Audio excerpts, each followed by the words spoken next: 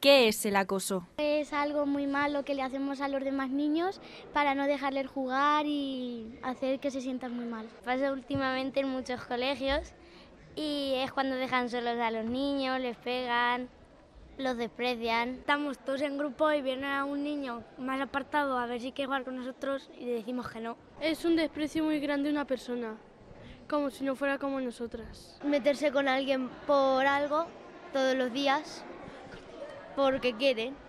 Con el objetivo de reflexionar sobre el respeto y la convivencia frente al acoso escolar, Aldeas Infantiles SOS ha celebrado hoy, dentro del programa educativo Abraza tus valores, un pleno en el que 62 alumnos de primaria procedentes de las cinco capitales de provincia se han convertido en diputados por un día y han llevado sus propuestas al hemiciclo. La agresión física deja marcas externas inequívocas, que el tiempo las borra pero la agresión psicológica hiere tan profundamente que perdura de por vida.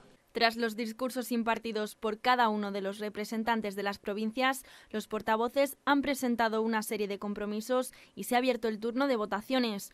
Todos los diputados infantiles han pasado por la urna para apoyar su propuesta favorita. He votado el compromiso 6. nos, nos comprometemos a buscar más compañeros que estén dispuestos a ayudar a la víctima, porque pienso que esa es una manera de contrarrestar el acoso escolar y hacer que, que los acosadores dejen de, de, actuar. Diferentes propuestas para solucionar un problema que sufre uno de cada cinco niños en la escuela cada año. A mí una vez me pasó me empezaron a pegar, a insultar y que no podía defenderme, me habían acorralado y todo.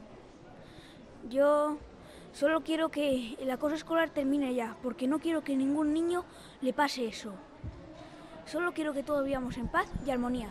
Para combatirlo, además de las medidas de vigilancia y control, es indispensable la figura del adulto y del docente como acompañante en este proceso de aprendizaje en valores.